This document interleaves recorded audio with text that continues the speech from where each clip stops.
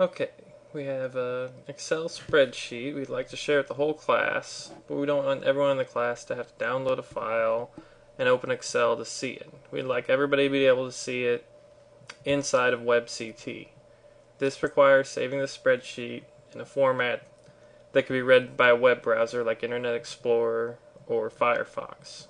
And that format would be HTML or Hypertext Markup Language. Fortunately, Excel has this capability built right into it.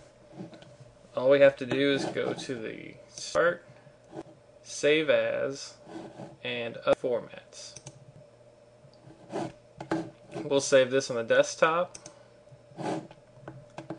and we'll keep the name, the file name. Then the type, you have two options, single file web page or web page. Uh, the single file web page actually saves the document as an MHTML file, which isn't supported by all browsers, but web page is. So and it'll save it as an HTML file. So we'll choose that and save. And this tells us that saved as an HTML file, we won't be able to edit it in Excel, but that's fine. Hit yes and check on the desktop. There it is, and if we did it right, it should open in a web browser, which it did. It opened in Firefox.